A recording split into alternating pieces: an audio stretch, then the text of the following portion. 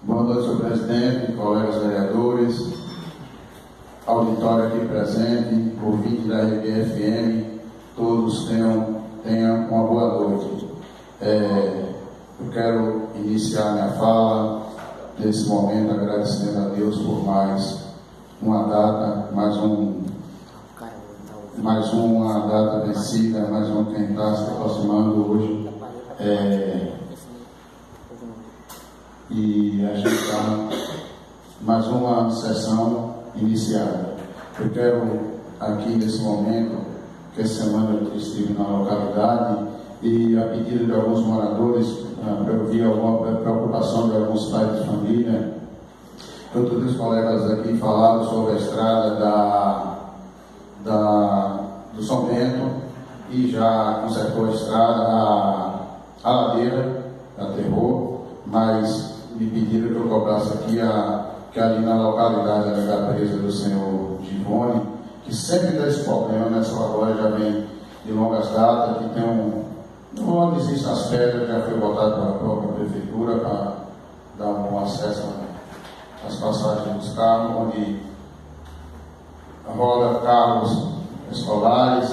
existem uns buracos lá na pedra que esse dia estava chuvoso, as pessoas estavam com medo de algum carro utilizar naquela localidade e descer a Rimaceira. Então, ele nem só os,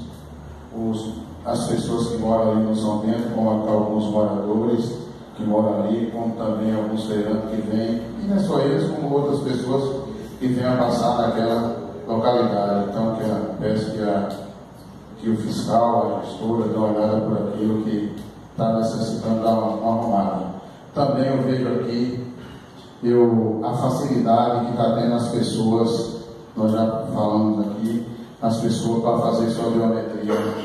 que facilitou muito. E todos têm,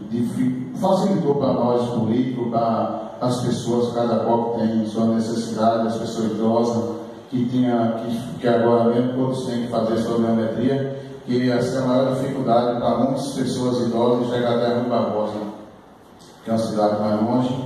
e ficou bom ter vindo a biometria para aqui. Também eu olho assim, que há um órgão que aqui ainda está precisando é de tirar, o órgão que tira a carteira de, de trabalho, para facilitar mais as pessoas que já têm identidade, já tira, faz a biometria, e outras, faz outros, alguma reservista, então só falta a um kit que tire para tirar a carteira de trabalho, que eu tive acesso conversando com algumas pessoas, e vai facilitar, não é só para a gente, como para todos aqueles que querem,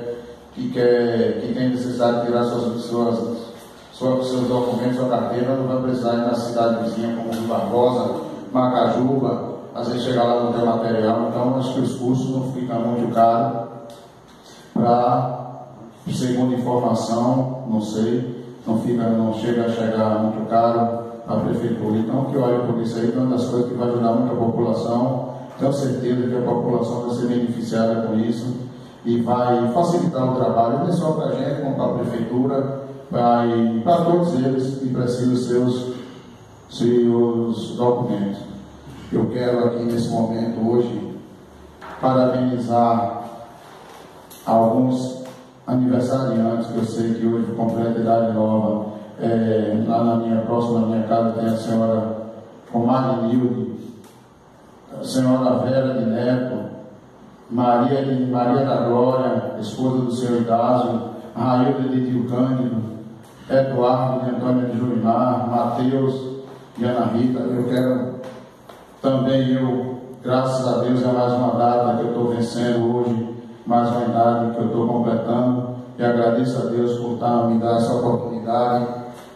não é só a mim, como todos os outros colegas, os aniversariantes, que todos, que Deus ilumine os passos, que essas datas se repitam por muitos e muitos anos,